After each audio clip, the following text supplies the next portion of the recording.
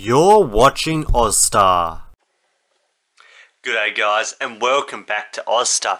In today's video we're going to be talking about the Foxtel 4K channel and if you've got a compatible 4K TV but you're having the constant error of it saying not supported or it's giving you the 4K channel in 1080p resolution.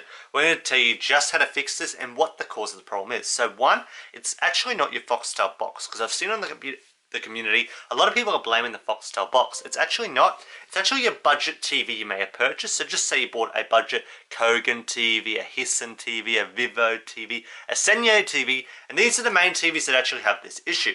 And basically what will happen when we go over into our actual Foxtel box and go over to the option, okay, and we go to picture, it's going to say 1080i, but then we'll have the 4K option. But as you notice, we've got on 4K and still not giving us any 4K resolution. It's still going to give us the 1080p resolution. Okay, so we'll just hit um, display on the TV and see we've still got 1080p. Now we'll show you just how to fix this. Now, hopefully you guys have a similar option to this on your TV because you will need to actually turn on the enhanced option on your TV. Okay, and some other TVs have this other option separate that you need to turn on too, especially the Hisense. They have a 2.1 uh, 2.0 uh, HDMI you need to turn on as well. And it's all in the one setting on this particular TV. So first of all, what we want to do is go over to our menu. So just basically hit menu on your remote right here. So just hit menu. Okay, so as you see, we've got a few different options. Now, a lot of people always think it's under the picture settings. It actually isn't. So what you want to do, you want to go over to um, system. Okay, so head over to system from system, we need to go over to HDMI settings. Now, if you don't have HDMI settings, just like the Hisense, it's under advanced settings. So this particular TV is under HDMI settings. From HDMI settings, as you see, everything else is turned on.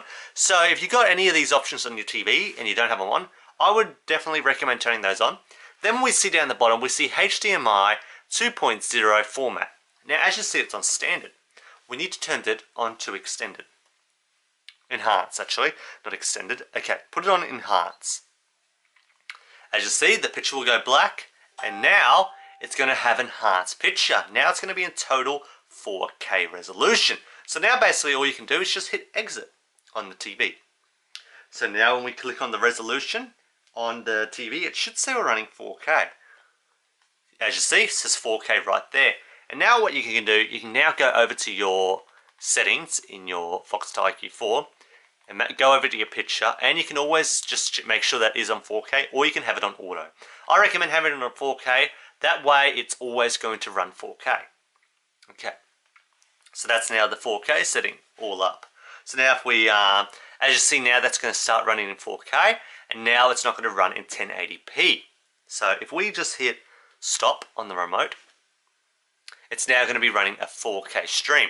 Now, even though I had it on the standard, it was running a 1080p, it was actually downscaling the 4K stream. So now we're running full 4K on the TV. So make sure if you got that setting turned off or it's on standard, make sure you put it to enhance. That way you're going to be able to watch the best of your 4K as well as you can watch best of your HD. You'll be able to get the best um, quality right there.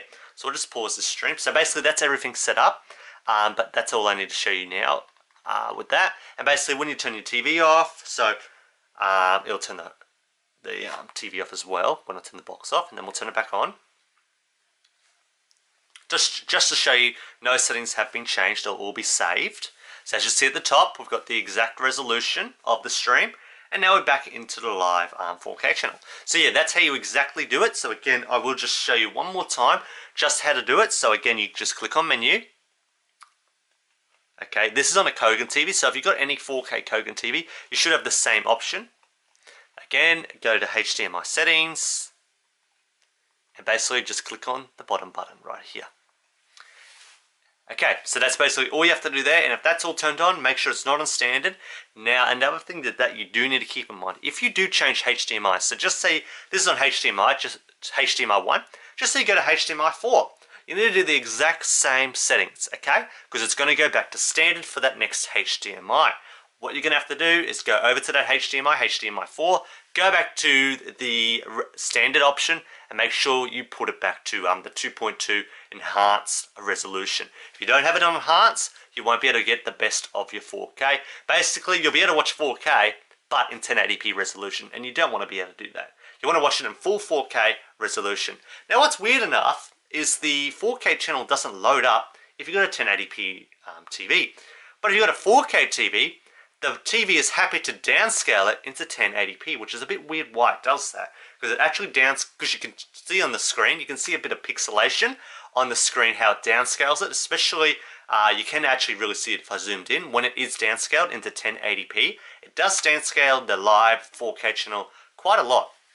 So make sure you have it on enhance all the time on your TV, but if you've got a a smart TV or a, a pretty expensive TV, it should do this automatically. Just the budget TVs don't seem to be able to do this. So yeah, that's everything in today's video and hopefully you liked today's video. If you've got any questions at all, let us know down below. And thanks again for watching Austar.